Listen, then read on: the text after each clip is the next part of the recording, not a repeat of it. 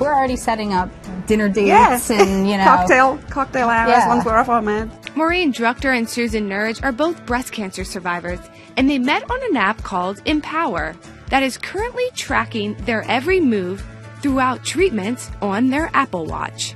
I wish it had started earlier because we met through it, Yes. and we've been a great resource for each other through the app. Yes. You know, like every day, basically, we talk. The app, designed by Polaris Health, is conducting a study that connects cancer patients with other patients and their doctors while collecting data on their sleep, mood, and physical activities. I just check in and then it asks me all kinds of questions. I feel pretty good today. I slept okay. The company's CEO, Mark Anthony, says he hopes it will transform healthcare. There aren't analytics today on behavioral health and integrated care. There are very few pieces.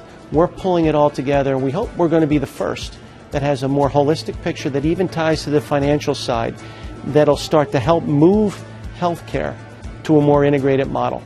Dr. Corey McMahon, the director of behavioral medicine at MD Anderson Cancer Center, says the idea is working too. Patients are able to track not only their activity levels, yes, including their steps, um, but also their, um, their mood and their treatment side effects. So they get to start to see patterns in how their body and their mind is behaving, for lack of a better term, throughout cancer treatment. For instance, if you had probably if you had pain that high every day, or you were nauseated or fatigued too much, um, it would trigger to have a doctor to call you. Ellen McMillan says the app is a blessing and has also motivated her to get up and move.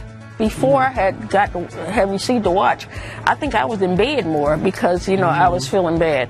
But now um, I'm so interested in trying to learn how to work something different. I'm on this gadget, you know, pressing buttons, trying to figure out well how you work this. McMahon says the hardest part for her patients is the unknown. Getting a cancer diagnosis kind of throws your world upside down. And uh, it creates so many changes in someone's life that just adjusting to it is incredibly difficult. Linda Gaylord Kwan, who is currently going through chemotherapy, says she uses the app for inspiration. For me, it's been like a companion for me because um, I felt all alone. Patients say it's the little things like sending each other flowers and words of wisdom. I think not only being able to be connected with people, but also knowing that the information is going to go to your care team. So you know that there's people out there that are keeping an eye on you, that they know what's going on with you. The women all say the main reason they wanted to do it was to help the next generation of breast cancer patients.